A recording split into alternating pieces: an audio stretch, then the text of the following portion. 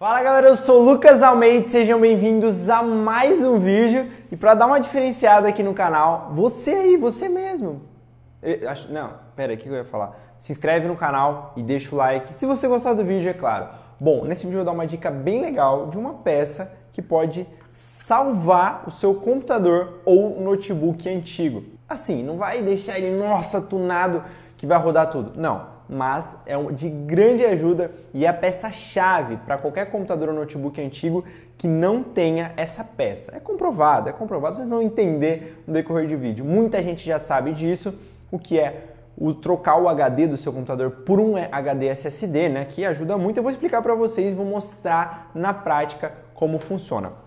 Bom, a gente tem, esse, eu tenho esse computador aqui em casa que a gente usa lá e não é nenhum computador gamer nem nada do tipo, não tem placa de vídeo nada. É um computador basicão, tem um processador da AMD, é bem simples, não tem nada demais, não é nem cheio de LED, nada em si. É um computador básico ali para usar para pesquisas e tudo mais, que o pessoal usa em casa, então Assim, beleza. A primeira coisa quando eu peguei esse computador, ele veio com HD. O que é o HD? Muita gente conhece como disco rígido, porque o HD convencional que vem na maioria dos computadores e principalmente nos computadores e notebooks antigos são o disco rígido, que é realmente um disco dentro do HD que fica rodando e quanto mais rotações, mais rápido ele consegue ser. Mas mesmo assim, ele não chega aos pés de um SSD, que tem memória flash, que é a mesma memória usada nos smartphones, nos, nos celulares, que você clica no aplicativo, ele costuma abrir rápido, então é o mesmo, a mesma memória, não o mesmo processador. Aí depende do seu celular, se ele for muito barato, o problema não é do HD dele, é o problema é do processador. Enfim, não vamos entrar nesses detalhes, vamos falar do computador. Então o que eu fiz? Tirei aqui o computador, abri e é muito simples para você trocar, muito simples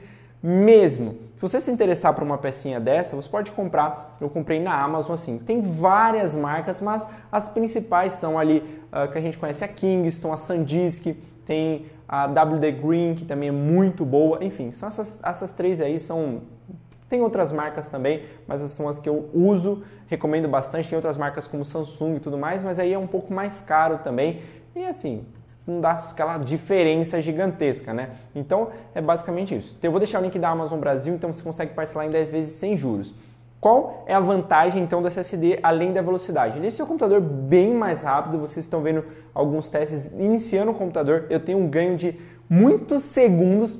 Para vocês terem uma ideia, esse HD que está dentro do computador que está ligado, eu troquei pelo SSD, tem as mesmas coisas que tem no HD aqui, tem aqui. Então a, a demora para ligar o computador é bem maior e também para quando ele inicia, quando ele começa a ler todos os arquivos dentro do disco, ele vai buscar quando você clica para abrir uma pastinha e tem que carregar todos os arquivos. O SSD faz isso muito mais rápido. Então, se você vai ter uma, um ganho de velocidade bem mais rápido, às vezes você tem aquele computador que demora muito para ligar, ele vai ligar bem mais rápido com as mesmas coisas. O tempo de resposta vai ser muito mais rápido, independente do seu processador e tudo mais.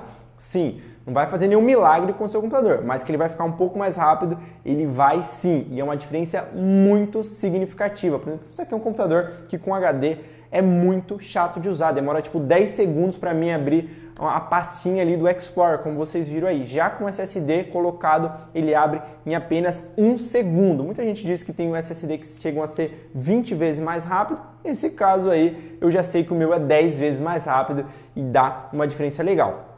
Para trocar é bem simples, a conexão dele é a mesma do HD normal, então você simplesmente tira o cabo que está no seu HD e põe aqui e pronto, acabou, já está ligado o seu SSD. É bem simples mesmo. No caso dos notebooks, geralmente os notebooks antigos, no caso eu tinha um notebook da Samsung muito antigo e foi o que eu fiz também. Tirei a tampa deles, geralmente tem um parafusinho, sempre para você trocar o HD ou substituir Uh, o, o, local de CD, é, né, que ninguém usa mais CD, você pode colocar o seu HD no lugar de CD e colocar isso aqui no seu notebook. É bem simples também. No notebook é mais fácil ainda. Alguns é só você encaixar e tirar. E os outros é uh, com cabo também, mas é a mesma coisa, a mesma entrada, é meio que padrão para todo mundo. Você não fala, ah, tem que comprar um modelo específico no meu computador. Não, isso aqui é um modelo só, você comprou, encaixa no seu computador tranquilamente. Então isso é bem legal. Então você vai ter um ganho de velocidade muito alto Uh, ele é menos frágil, né? Então, se você derrubar, enfim, ele é bem mais resistente do,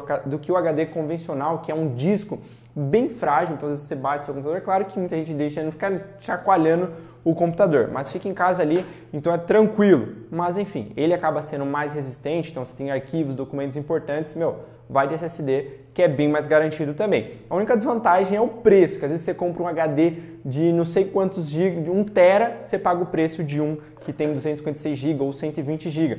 Mas o que eu recomendo vocês fazerem é comprar um de 256 GB ou 120. Eu tenho de 120, eu tenho de 256 e já no computador de estúdio que tem muito vídeo e tudo mais, aí já é de 500 e alguma coisa. Mas enfim, 120 GB dá para fazer bastante coisa. Você instala o sistema operacional e seus arquivos você usa o seu HD antigo. Você consegue conectar os dois no computador, pois ele já vem com cabo e tudo mais para isso na sua placa-mãe. Ou se quiser, você deixa só um também. Enfim, deixa o like no vídeo, se inscreve no canal, ativa o sininho para receber notificações de vídeos novos. E é isso, como é que você achou do vídeo? O com 120 GB é mais ou menos na faixa de 200 reais, 180, já 256, 300 e pouco. E na Amazon ele chega rapidinho e você consegue parcelar em 10 vezes sem juros. Não tem juros em nenhuma vez. Então isso é muito importante. Alguns você consegue parcelar em 10 vezes, outros em pouco menos, mas sempre sem juros e por isso que a galera está escolhendo comprar lá. Chega rapidinho, tem a garantia de AZ, excelente. Então, uma dica bem legal, realmente uma peça que faz muita diferença e muita gente sabe disso. Bom, deixa o like, se inscreve no canal, comenta aí se você já sabia disso, se você não sabia e se você vai salvar aquele notebook que está empoeirado aí na sua casa ou aquele computador velho que ninguém liga mais. Hein? Comenta aí, deixa o like e sugestões se vocês gostarem de vídeo assim sobre PC, a gente pode fazer um vídeo montando o PC. Não que eu entenda muito de PC, mas o básico ali a gente sabe o que é mais importante vivendo nesse mundo de, de tecnologia, smartphones e computador, a gente vai aprendendo um pouquinho também. Deixa o like, se inscreve no canal e é isso aí, galera. Valeu!